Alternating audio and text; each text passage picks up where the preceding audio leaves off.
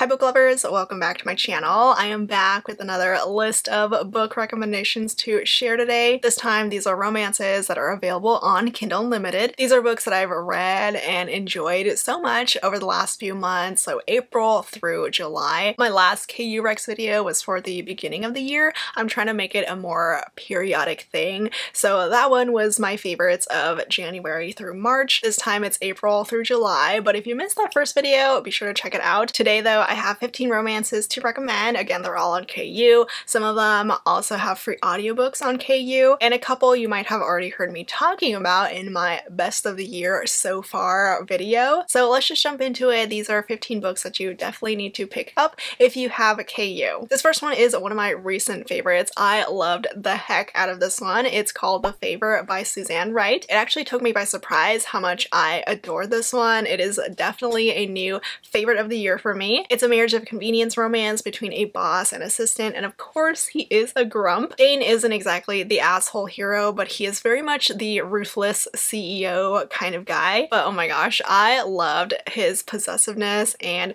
protectiveness over Vienna, the heroine. This hero has to get married in order to get his trust fund, and the only one who he wants as his wife is Vienna. She knows him like no one else does. She stands up to him like no one else does, so they are a match made in heaven. The only way he gets her to say yes though to this marriage of convenience is by calling in the favor that she owes him. There is some fun ex drama. The heroine has an ex that wants her back, so cue all the good jealousy on Dane's part. Of course, there's a fake relationship aspect with Dane and Vienna having to pretend to the public that they are all lovey-dovey, that the marriage is real. There's so much amazing chemistry and attraction between them, and oh my gosh, this book is so hot. I forgot how hot Suzanne Wright's books are. I've read her paranormal romances, and those are steamy, but in like a werewolf alpha type of way, but The Favor also has the same vibe to it, even though it's contemporary. Dane is so intense with the way he wants Vienna, and when they get together, it's like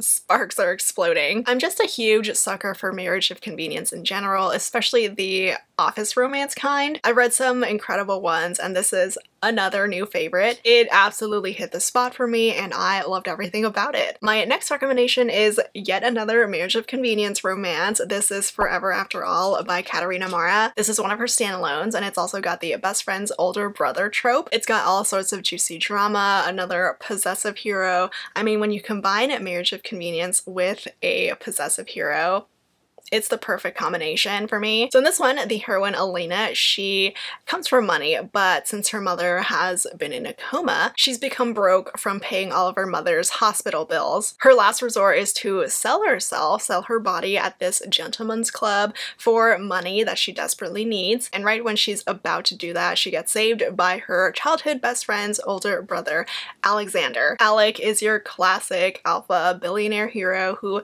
tries to be all cold to the heroine but he grows so soft for her instead. He's the type of hero who swears that he'll never fall in love, that he'll never be able to give any love to Elena, but that obviously goes out the window. It gets very dramatic, especially with the whole mom in a coma thing. It is very soap opery, but so entertaining. I really enjoyed this romance. It's super fun and entertaining and exactly what I wanted in a marriage of convenience romance. And then anyone who is in a fantasy romance mood and hasn't read Bewitched by Laura Thalassa yet, this is your sign to do it right now. I love this first book. It's a brand new series from Laura Thalassa. It's all about witches and magic. It's set at this college. The heroine is trying to get initiated into a coven and the only way to do that is through two things. She has to get a familiar, which she does. She ends up with a freaking panther, which is so cool. If I were a witch and I had a familiar, I would definitely want a panther. And the second thing she has to do is go on this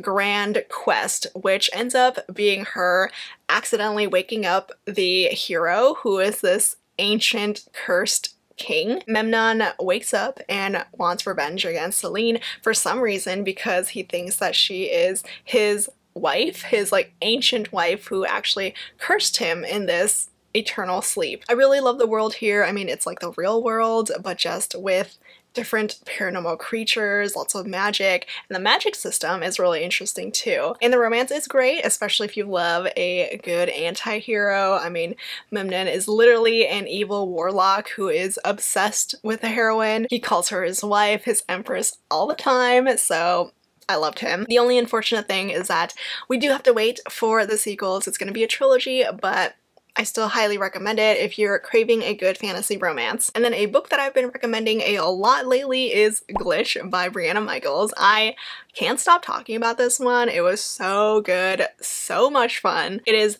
the perfect novella if you're looking for something short and steamy. The hero here is utter perfection. Glitch had me swooning like crazy. He is tattooed, he's a nerd, he's all about gaming and computers. He has the perfect voice he uses to narrate romance audiobooks, and he is absolutely obsessed with the heroine. They're both gamers, they're gaming buddies, and they've wanted each other for a long time time. They finally meet though when she needs help with her computer and it's just perfection between them. They are so hot in person. Oh my gosh, the kinks here are great. So much good dirty talk. He loves to praise her. He calls her kitty and he is just such a generous man, both in and out of bed. I just adore reading about a hero who adores his heroine. So this was perfect. Another paranormal romance that I really enjoyed that is on KU is his Curvy Rejected Mate by Kate C. Wells. Kate C. Wells is kind of my go-to now when it comes to some groveling romances. I will forever love her and be grateful to her for writing the Tyrant Alpha's Rejected Mate, which is book one in the series, the five pack series. His Curvy Rejected Mate is book four. I didn't love it quite as much as book one, but it still did hit the spot for me. We're in a new wolf shifter pack now, but the leadership here sucks like crazy. The heroine has been bullied her entire life for being curvy because being a shifter and being curvy are mutually exclusive, except it's not because she exists. So she's always felt like an outsider in her own pack, and the hero, her mate, has never helped in changing that. It starts off terribly with the hero just constantly using the heroine until the whole fated mate thing happens. He rejects her in front of everyone because it is another rejected mate romance. Flora decides to take charge of her life now. She leaves her ungrateful pack to find another pack who will welcome her. Alec chases after her pretty much immediately. Um, this is his grovel. He grovels through his actions trying to show her that he regrets what he did, regrets how he treated her, and now he is in it for life. I'm always gonna love reading about a remorseful, regretful hero who does everything he can to try to make it up to the heroine. So this is good if you're looking for something along those vibes. Another recent favorite of mine, one of my favorites of the year, is a mafia romance. This is called Scarred Regrets by Adelaide Forrest. It's book five in a series, the Bellandi Crime Syndicate series, and this one is by far the best one. It's like leagues better than the other books. And yes, you can read it as a standalone each book is about a different couple. This one has my favorite couple, Irina and Scar. They both have some very tragic backgrounds. Scar more so because he has grown up into a man who can't stand the touch of another person. He's now working in the mafia for the Bellandi family as one of their bodyguards and this is how he meets the heroine. It's very much insta-lust and insta-love but it worked because he still can't stand the touch of another person, let alone the heroine. They have a lot to work through. She tries to seduce him until he finally does claim her for himself, but only he can touch her and she still can't touch him. He's all possessive and obsessive, borderline stalkerish, because that's just the type of hero that Adelaide Forrest writes, and I'm super into it. But this is when things get very, very dark for this book. Like, please check the trigger warnings for this one because it gets brutal. Through it all, the romance is just so, so beautiful. I adore this one. I highly recommend it if you love mafia romances. Before I get into the rest of this video, I did want to share today's sponsor, which is Ana Luisa. Ana Luisa is a jewelry brand. They offer long-lasting, tarnish-resistant jewelry that you can feel good about wearing because they are sustainable. They're very affordable. Their pieces start at $39, and I do also have a discount code. You can save 20% off your order when you use my code LaceyBookLovers20 20. So the pieces that I'm currently wearing right now, the earrings are called Rocks Medium. It's a very simple, delicate design, but I do love how it's not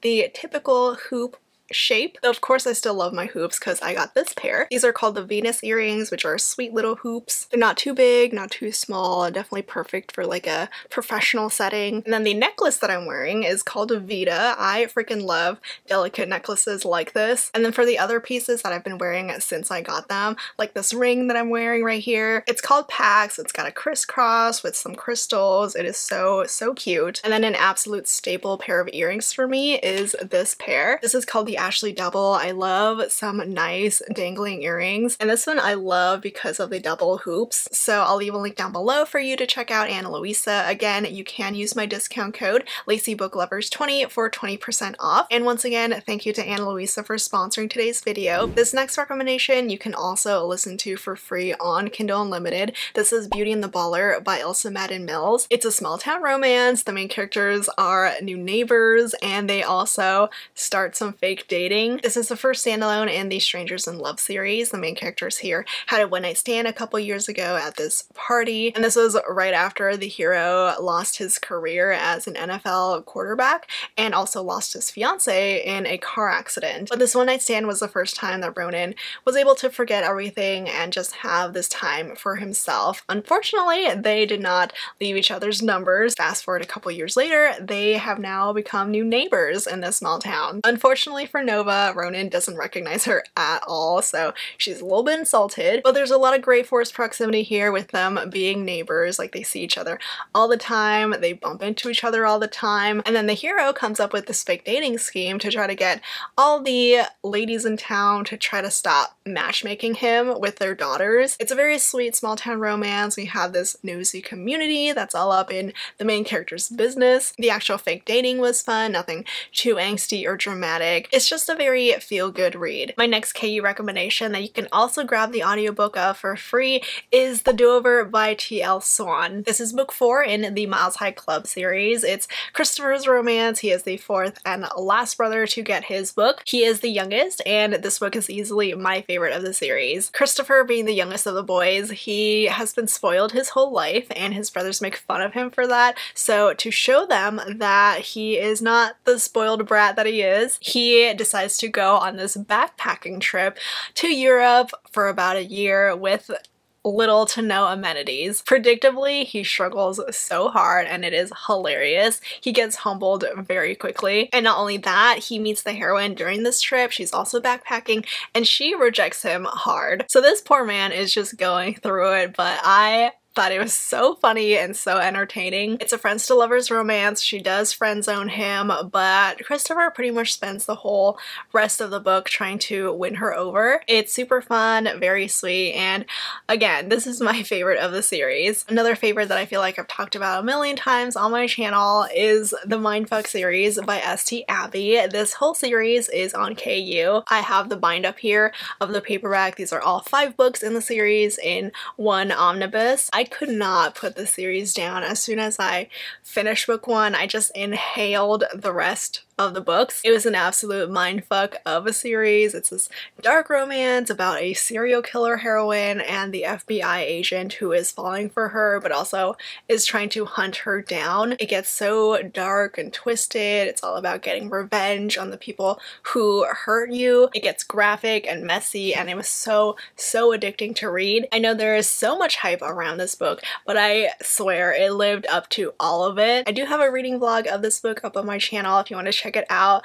I go through all the emotions reading this one. I also can't not recommend a book with one of my new favorite book boyfriends. This is King of Pride by Ana Huang. Kai is my man. He is my dream man and I will forever be sad that he does not exist in real life. He's a quiet and reserved CEO billionaire and of course his heroine is his total opposite. Isabella is loud and fun and everything that Kai isn't so this is a fantastic opposites attract romance. It's also a very sweet romance like like it's fairly low drama for a Ana Huang book, but that's kind of why I like this so much. It definitely worked for Kai and Isabella because they're not really messy characters. They meet through mutual friends, but they see each other a lot more because she works at this club, the Valhalla Club, where Kai is one of its members. They have to meet up in secret though because there's this no fraternization policy, but these two are just so cute together. I adored them. I loved how good Kai was to Isabella. He treated her so well. This romance just made me swoon. And then I do have a monster romance to recommend for all the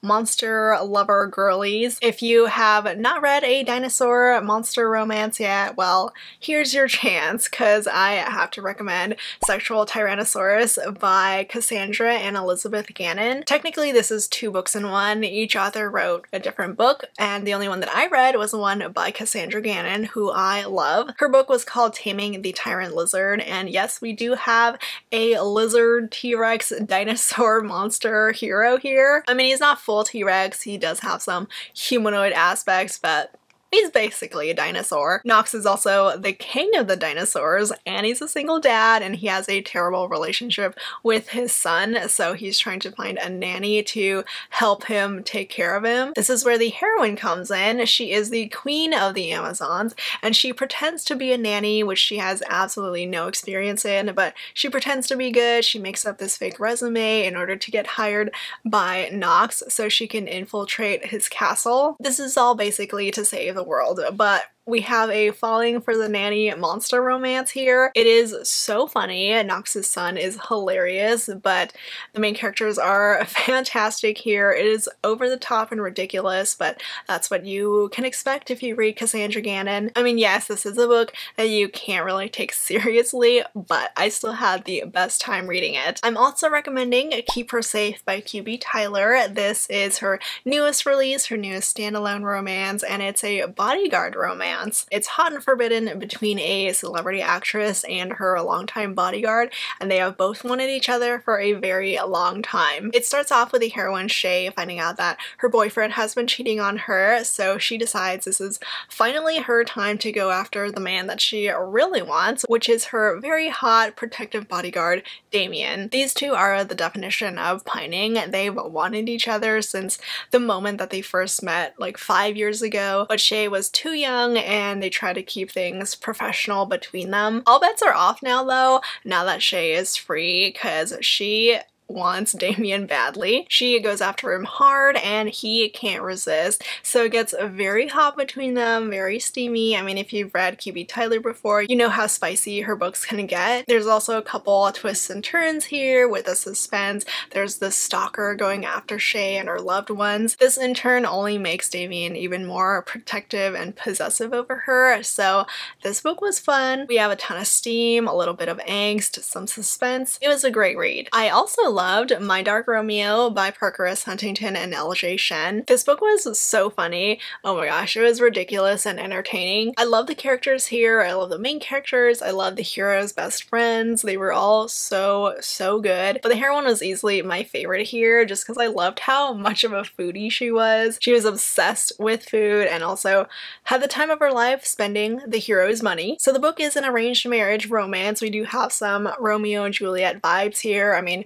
the hero, his name is Romeo, and he forces the heroine's hand in marriage when he ruins her reputation in front of everyone at a party. The reason why he does this is to get revenge against her fiance, the guy she was actually supposed to marry, who is Romeo's biggest rival. So Romeo steals his rival's fiance from under him, marries her instead, and they have such a messy marriage. It is ridiculous. Dallas does everything she can to make Romeo's life miserable, but he kind of loves it. There's so much fun banter between them. They're constantly going head to head. It's just never ending shenanigans between these two. So there's really never a dull moment in this book. We have enemies to lovers, an arranged marriage, very, very rich characters, and a slight slow burn here too, but everything just worked perfectly well together. My second to last recommendation is Be With Me by Samantha Young. This is book four in the Adair series, which I do recommend as a whole. I adore this series, but this is the one that I read the most recently. It's the perfect book, the perfect series if you love hot Scottish men with Scottish accents.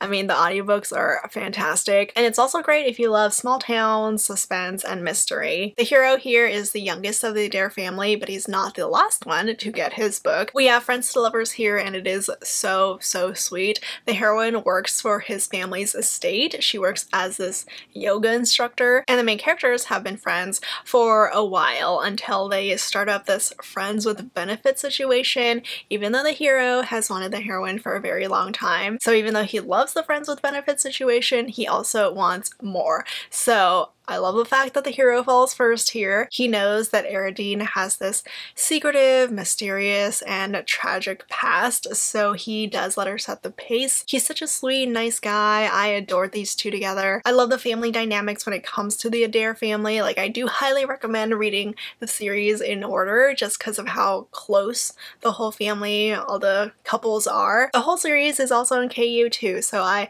highly recommend you check it out. And my last recommendation is one of my top three reads of 2023, at least so far.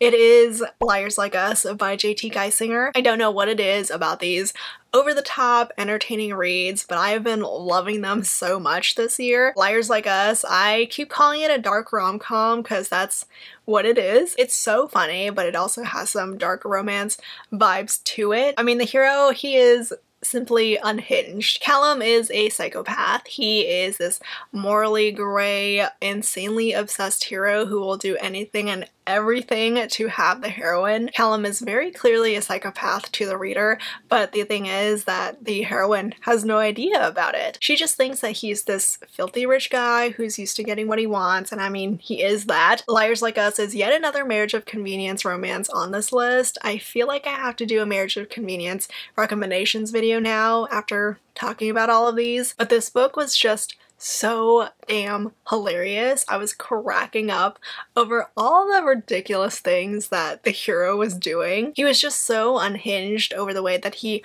wanted Emery. The banter was fantastic between them. Their chemistry was fire. Oh my gosh. Callum's dirty talk is chef's kiss here. I just ate this book up. It was so perfect for me. I mean, when you have a hero who offers the heroine $20 million to marry him, I can't not love him. So if you have not read this one yet, you need to do that immediately. And that's it for some of my recent favorite reads that are available on Kindle Unlimited. I know a ton of romance readers are on KU, so I'm gonna try to keep these recommendations going. As always, links to all the books that I mentioned will be down in the description below, and don't forget to go check out Ana Luisa. There's a link in my description for that as well. Use my discount code for 20% off your order there. I hope you enjoyed this video. Thank you so much for watching, and I'll see you all next time. Bye!